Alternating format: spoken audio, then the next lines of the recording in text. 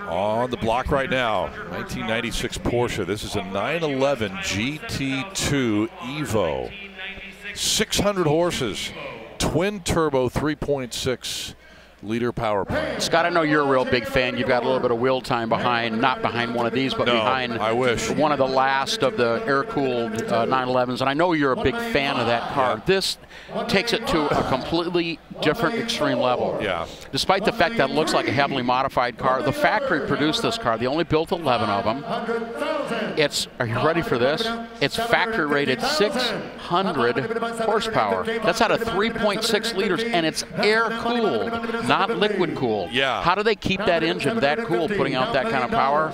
Have to give a tip of the hat, obviously, to Sure. the guys at Porsche. And how do you get that kind of power out of a 3.6 liter engine? Twin turbo with a lot of boost, but then you got to worry about cooling, Right. And you got to worry about engine reliability. Exactly. It- So I mean, but they, you know, Porsche, Porsche's got it figured out. And the reserve is off off. at $1.1 million. So despite an auction chock full of high-end world-class American muscle, our top seller may end up being a Porsche.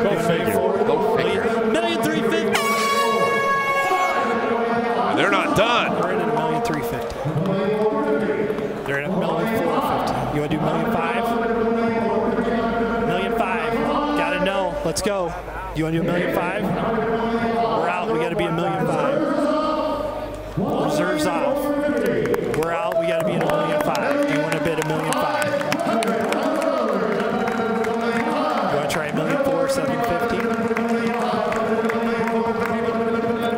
Are we done? Are we out?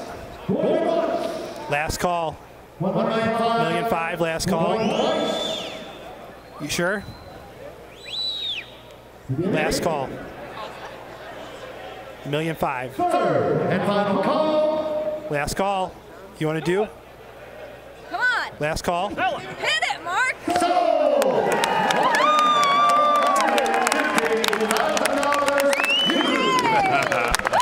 Look at his bidder number, 356, as in the legendary Porsche. I wonder if there's Oh, a yeah. connection there. Well, I would not be surprised. And the T-shirt as well. He may have come for that car and that car only. And he got it. Awesome. $1.45 million. Super rare 911 GT2 Evo.